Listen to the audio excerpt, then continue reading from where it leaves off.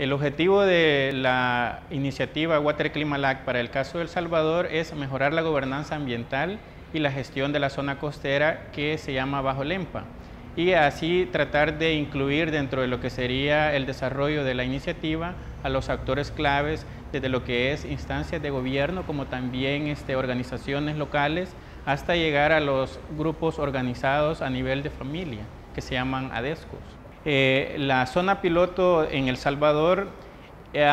tiene, digamos, como una característica muy este, interesante, que hay mucha organización, digamos, de actores que han estado trabajando por años, pero sin embargo no hay así como una guía, eh, digamos, como muy formal en, el término de una organización estructurada. Entonces, como que hay muchas, digamos, trabajos que están haciendo organizaciones del área ambiental, de gestión hídrica, pero no hay una integración. Entonces, eh, la gestión de zonas costeras, en este caso como Water Clima, busca eh, generar ese diálogo entre los actores locales y a la vez como tratar de organizar ese trabajo que por muchos años han estado haciendo organizaciones de, de todo nivel.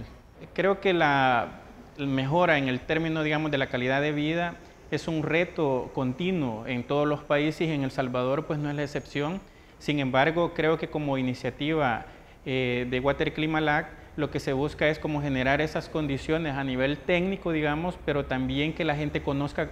por ella misma cuál es la condición en la que se encuentra. Entonces, muchas veces eh, como que es difícil encontrar una solución como más concreta a los problemas que eh, enfrentan las familias, organizaciones y también como el uso del territorio, por el simple hecho de que no hay como un incentivo para comenzar a hacer ese cambio. Entonces, eh, la iniciativa Water Clima Lab está generando como herramientas que le va a permitir desde lo que son familias hasta instituciones del gobierno central poder echar a andar ese tipo de herramientas para la gestión integral del agua como también los servicios ecosistémicos. Por un lado, este, vemos la necesidad de que haya, digamos, como más acceso al agua desde lo que es el abastecimiento potable para las familias pero sin embargo existen muchas barreras en cuanto al uso del agua en particular, no hay un control estricto en cuanto a lo que es este, el, tema agrícola, que todavía no está como muy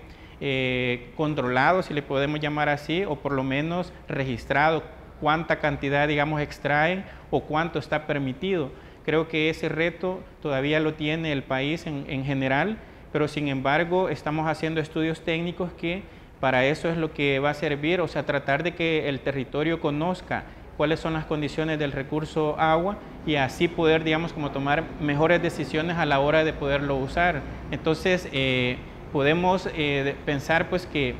eh, eso sería, digamos, como un aporte del, del proyecto, las herramientas que se están generando tanto para el tema de poder, digamos, generarle mayor conocimiento a la gente, pero a la vez que ellos mismos participen, porque si no participan en el control de, eh, digamos, el uso, como también este, en la aplicación de la normativa que existe, porque hay ciertas normativas, no una ley general del agua, que eso sí hay un proyecto por ahí, ¿verdad? Pero no ha sido, digamos, como,